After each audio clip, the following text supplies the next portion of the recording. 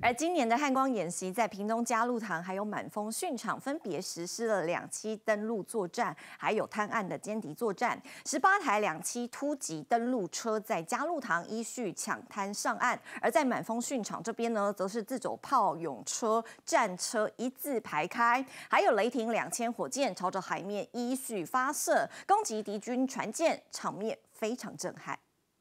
早上八点四十分，攻击发起，海军陆战队的弟兄分别搭乘十八台两栖突击登陆车，分成三个周坡抢滩登陆。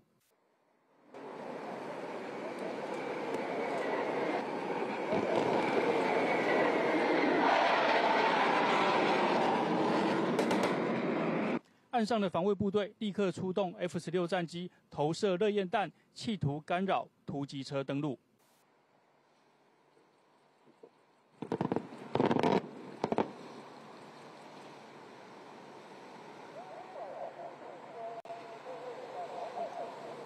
在离岸边两百公尺左右，两栖突击登陆车先投射烟雾弹，接着再喷发大量白烟，希望能够发挥欺敌作用。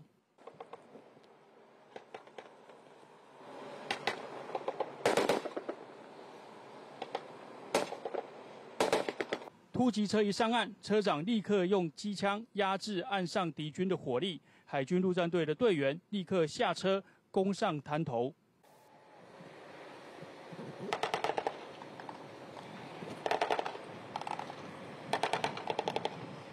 负责防守的陆军三三三旅甲车、坦克车全员出动，跟海陆弟兄近距离搏火，场面震撼。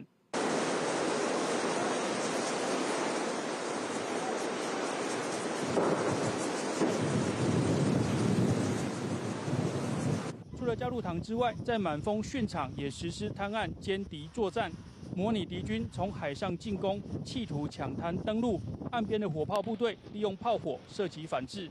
包括 M 幺洞九、M 幺幺零自走炮、勇虎战车，还有雷霆两千多管火箭跟云豹甲车依序发射，场面相当震撼。希望能够用长短火力交织出的火网，达到各组歼灭敌军的功能。记者李宝仁、郭旭辉、洪龙斌、吕昭燕，SNG 小组屏东报道。从前没有我和